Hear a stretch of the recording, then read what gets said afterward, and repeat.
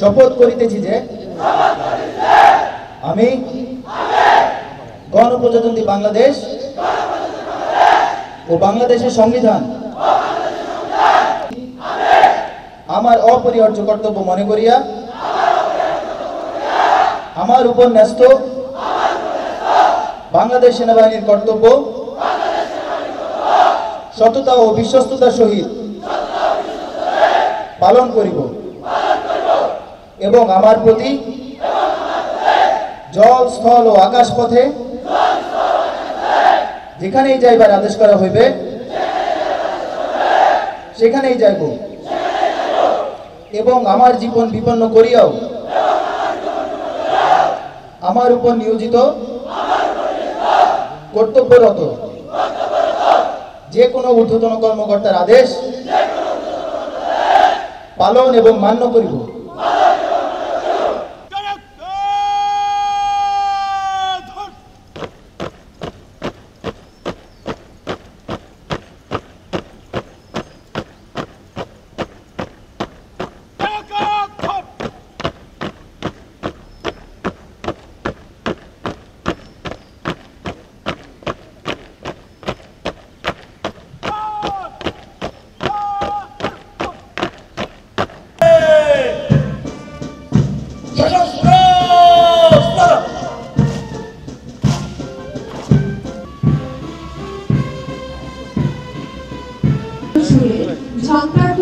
রয়েছে নবীন সৈনিক মিম এবং কন্টিজেন্ট সহকারী নবীন সৈনিক সিদ্দিক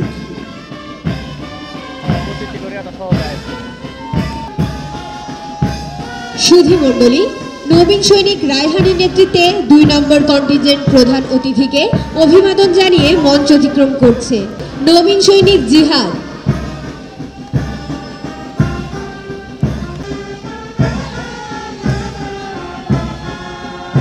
এখন এগিয়ে আসছে জাতীয় পতাকাভী দল যার নেতৃত্ব দিচ্ছেন warrant officer S M T. জন্য বিনীত অনুরোধ জানাচ্ছি। কন্টিনজেন্ট সহকারী নবীন সৈনিক মুশফিক নবীন সৈনিক হৃদয়ের নেতৃত্বে চার নম্বর কন্টিজেন্ট প্রধান অতিথিকে সর্বশেষে প্রধান অতিথিকে চৌকসভাবে অভিবাদন জানিয়ে মঞ্চ অতিক্রম করছেন মাস্টার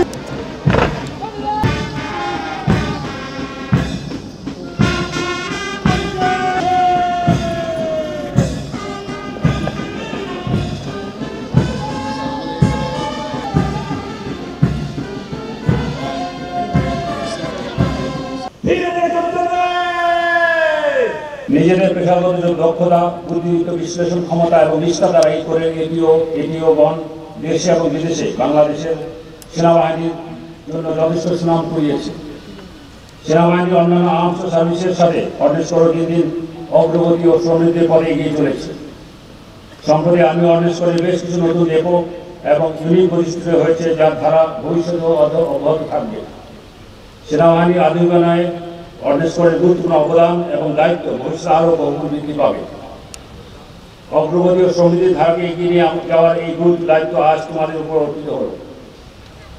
এই দায়িত্ব পালনকালে তোমাদের কিছু বিষয়ের প্রতি বিশেষভাবে লক্ষ্য রাখা একান্ত প্রয়োজন। তা হলো, প্রথমত, সততা, শৃঙ্খলা ও নিয়মবর্তিতা হতে হবে তোমাদের সৈনিক জীবনের মূল মন্ত্র।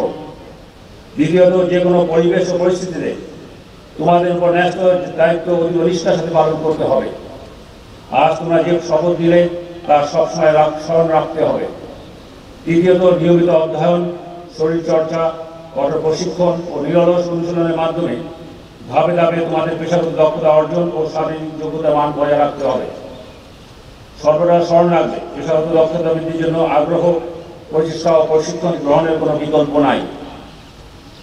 মনে রাখবে, তোমাদের মৌলিক প্রশিক্ষণ শেষ হলেও মূলত সৈনিক হিসাবে পেশাগত জীবনে তোমাদের প্রশিক্ষণ আবার নতুন করে শুরু হলো